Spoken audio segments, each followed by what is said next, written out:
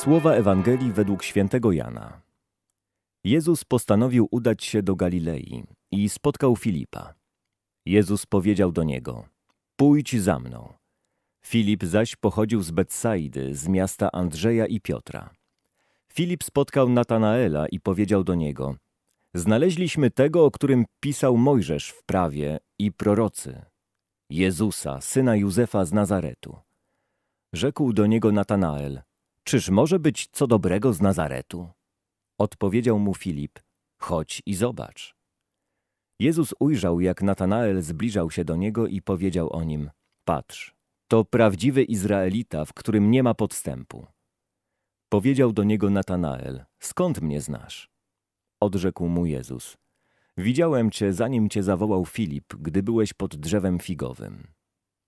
Odpowiedział mu Natanael: Rabbi, ty jesteś synem Bożym, ty jesteś królem Izraela. Odparł mu Jezus: Czy dlatego wierzysz, że powiedziałem ci: Widziałem cię pod drzewem figowym? Zobaczysz jeszcze więcej niż to. Potem powiedział do niego: Zaprawdę, zaprawdę powiadam wam, ujrzycie niebiosa otwarte i aniołów bożych wstępujących i zstępujących na Syna Człowieczego. W Wigilię uroczystości objawienia pańskiego czytamy fragment Ewangelii według świętego Jana, który ukazuje nam synostwo Boże Chrystusa. Natanael wyznaje wiarę. Rabbi, Ty jesteś Synem Bożym, Ty jesteś Królem Izraela.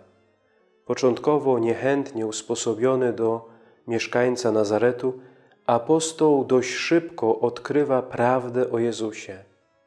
Okres Narodzenia Pańskiego jest dla nas czasem odkrywania prawdziwego pochodzenia Chrystusa, tajemnicy Jego bóstwa.